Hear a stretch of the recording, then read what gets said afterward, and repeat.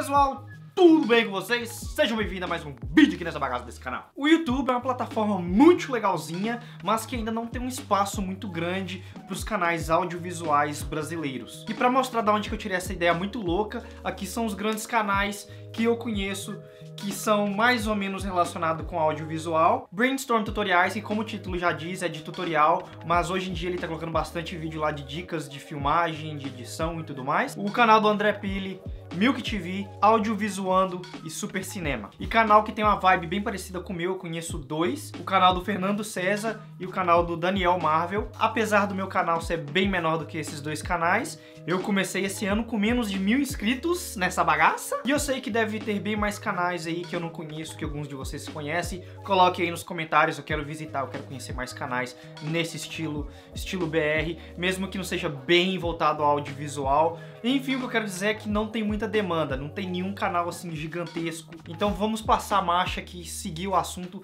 A Globo tem muita influência na mídia brasileira. Eu nunca vi um canal ter tanta influência com o povo. Por exemplo, aqui nos Estados Unidos tem dois canais grandes de notícia, Fox News e CNN, CNN. Então tudo aqui sempre tem pelo menos dois pontos de vista diferentes. Só que eu vejo algo muito interessante acontecendo. Eu vejo muito artista que trabalhava na Globo indo para o YouTube e trazendo consigo essa influência influência. Então, com essa influência vindo para o YouTube, eu vejo uma demanda maior de vídeos bem produzidos e canais como esses que eu mencionei no começo do vídeo. Eu acho que isso é notícia boa até mesmo para quem trabalha com vendas de equipamento de gravação, pois vai ter uma demanda maior de acordo com esse espaço de vídeos bem produzido vai crescendo o futuro está perto, a cada dia vemos plataforma igual Netflix, Amazon, Hulu, tudo crescendo, começando a trazer notícias, começando a ter programas semanais. Eu já venho dizendo para as pessoas que eu ando conversando que agora é uma boa hora de entrar no vídeo. O vídeo vai só crescer de acordo com que as demandas de vídeo nas redes sociais vão crescendo, empresas, empresas e lojas aí da sua cidade, todo mundo querendo fazer vídeos para jogar nas redes sociais. As grandes empresas também estão começando a ver esse futuro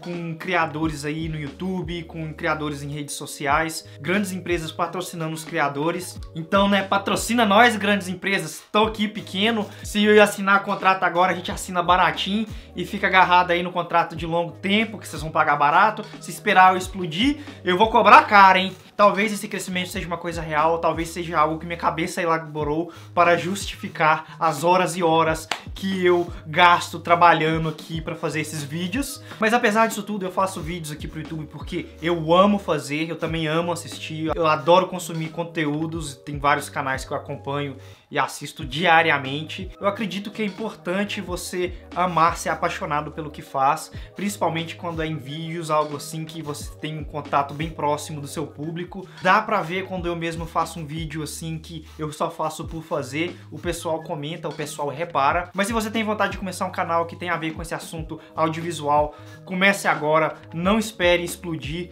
porque senão você vai perder seu assento no ônibus. Mas é isso aí, é nóis, tamo junto, o vídeo hoje ficando por aqui. Até a próxima, valeu e tchau!